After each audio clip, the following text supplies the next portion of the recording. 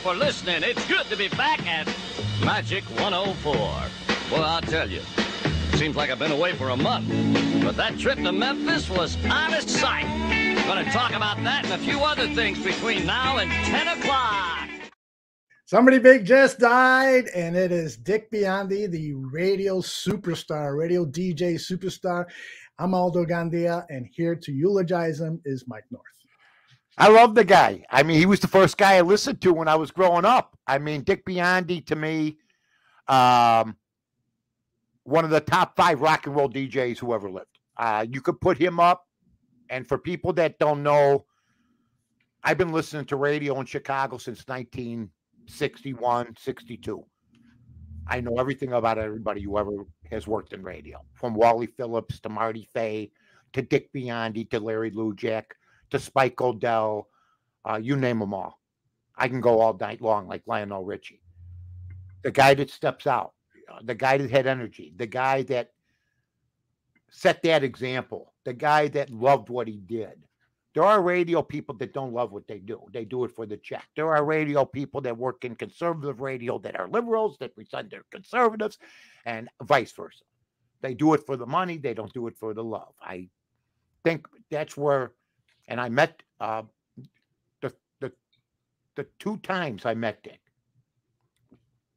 One time, Rob Feder had a thing where all the top personalities got together. I forget where it was at and he was there, and we met for the first time. I told him, "Hey, I W Douglas."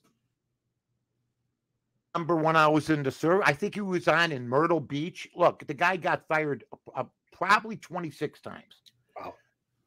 Which back then, I mean, everybody owned two stations. He would have been blackballed. He was anyway from Chicago for a while and other cities but he would have never worked after a while because now there's eight stations per city.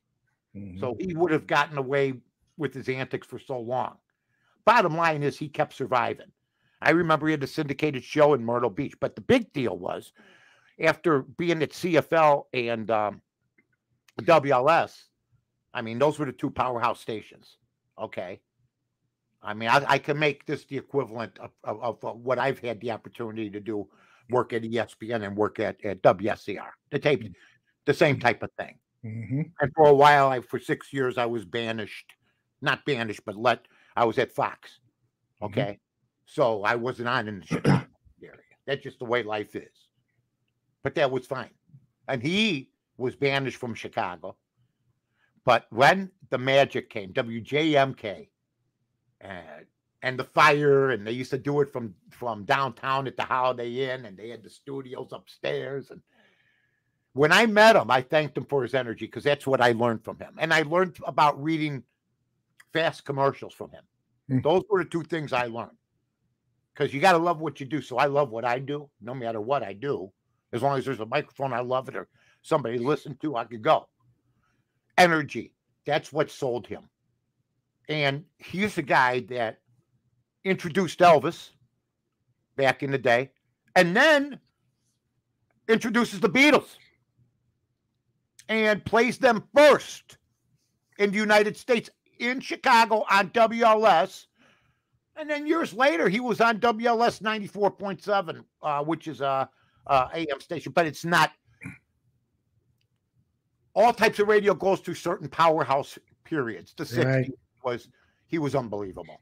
Yeah, that's I, when I started following him on LS. Yeah, I I, I put him up there with Alan Freed, Wolfman Jack. He had more of the look.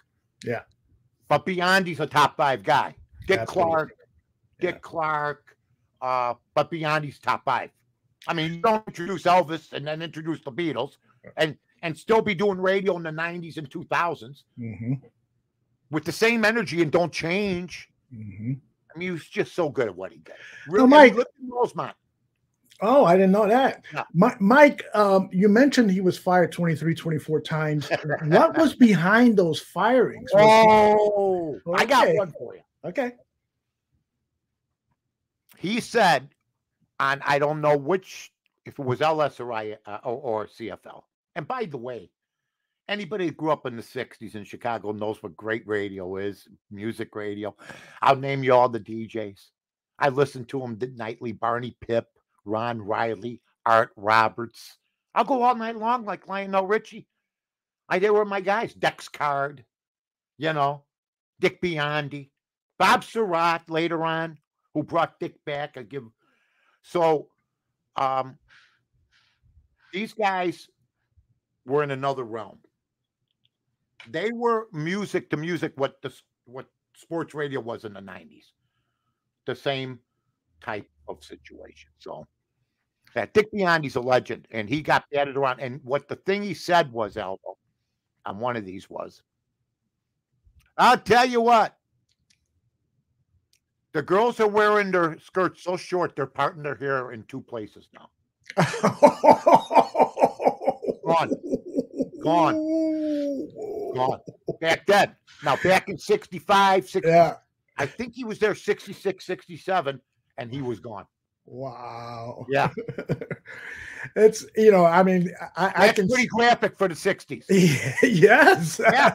absolutely, absolutely. For for uh, uh, airways, public airways, FCC is going to frown on that. I think waxing. A lot of people didn't wax back then. So yeah, and but and then you think about what a few years later, you know, uh, other radio stars like Howard Stern and Steve Dawson, Oh, things that were much more graphic, right?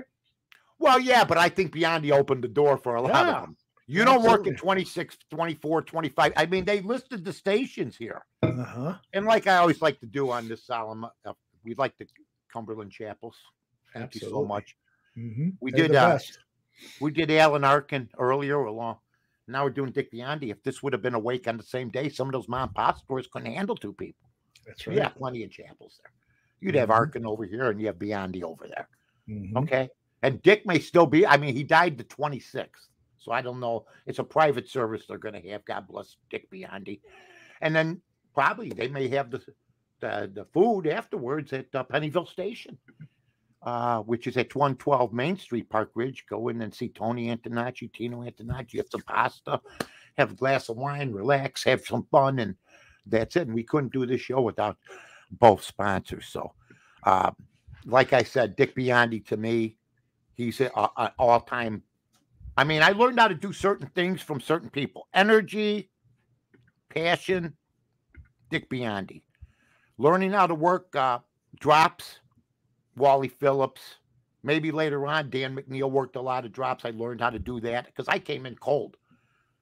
But I learned from each person. Uh, Art Roberts, you know, all these people. But Dick Biondi was the most popular rock and roll DJ. I think the argument hmm. now is is he the most recognizable? He was written up today in the papers like he was Ernie Banks Yeah. Uh, of of of of uh, of, of radio, and he's one of the hmm. all time greats. Yeah. He was uh, and he was way- he was a national superstar but he you know he really his the, the better part of his career were his years here in chicago and the chicago city council years ago named a street after him dick Biondi way so uh his connection with chicago is so so strong well. Here's the thing, Aldo. He was national even when he was on LS okay because at, he was on and everybody listened to WLS around the country. You could get the signal.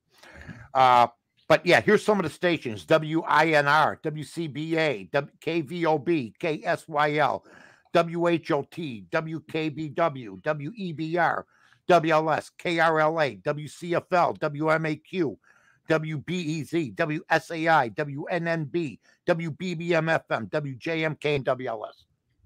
amazing And no, it's not like where I could do radio from my house. Mhm. You had to move. that's right We want you to do radio in Myrtle Beach. Really? Yeah. You have to move Mhm. back then. You didn't have this. So uh, he was born Virgo. God bless. God, he just missed, we missed our birthdays by three days. September 13th, 1932. Wow. Uh, died June 26th uh, at the age of 90 years old. Uh, and I'll tell you at the time of death, he's married to Maribeth. So there was no children. Uh, his obituary uh, mentions no surviving children, so we don't know. I didn't know that much about Dick personally, except the fact I got to meet him a couple times, and it was huge meeting Dick Biondi, as big as meeting anybody else. And and uh, did he? He never uh, ventured into television, or did he? No, I don't Yeah. think so. I think there was always videotape or film of him. sure. Yeah. You know, at, at, concerts or opening for the Beatles. And, Right. but he never really did a whole lot of that stuff. He was just Mhm. solid radio guy.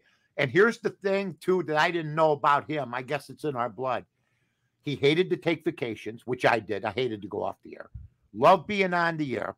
Hated to take vacations, and uh, never missed a day. Hmm. I know, like me, and that's when you love something. And so I just wanted to say that uh, on behalf of uh, Aldo and I, to the man who got a T-shirt he was wearing signed by Elvis Presley, to the man who played the Beatles and introduced them at Comiskey Park, or it might have been the amphitheater back into the day. When we talk on this show, somebody big just died. He was as big as it gets in radio in Chicago. Dick Biondi, ladies and gentlemen. Aldo. Yep. And to all of his uh, family members and fans and and friends, uh, our condolences. Uh, Dick Biondi, uh, rest in peace. We'll see you next time on Somebody Big Just Died.